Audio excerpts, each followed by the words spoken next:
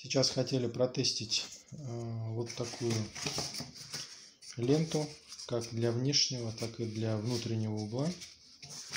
Называется Straight Flex. Вот здесь, как видно, для каких углов можно использовать. Для острых, для внутренних, наружных тупых углов, внутренних тупых углов. Здесь пластиковая пластина.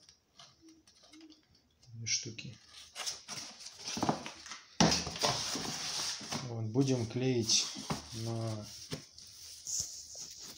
Симин 78 для наклейки лент шпаклевка. Для этого будем использовать вот такой шпатель. Будем наносить на угол шпатлевку и потом придавливать ленту. Да, только единственное, нужно делать это быстро, чтобы у нас шпатлевка не подсохла. Вот эта мастика наша. Чтобы у нас все держалось и было без пузырей. Будем разглаживать обычными шпателями, без валиков, без роликов. Сейчас посмотрим, как это у нас получится. Нюанс, прежде чем клеить уголок, важно а, вывести а, углы гипсокартона или там штукатурки, а, чтобы они были у нас ровные. Здесь я прошел унифлотом. Также нужно подготовить уголки, то есть их необходимо сформировать, согнуть, как нам необходимо. Лучше сделать, чтобы они были острые. И далее будем наносить мастику на угол. Сейчас тогда покажу, как будет выглядеть уже нанесенный угол мастикой. Далее, как мы будем приклеивать его. Вот так мы замазываем шпателем. Получается вот так вот у нас мастику наносим. И далее мы клеим. Как раз вот эта гребенка у нас позволяет наклеить вплотную почти уголок, там под ним практически шпакли не будет оставаться. Клеим.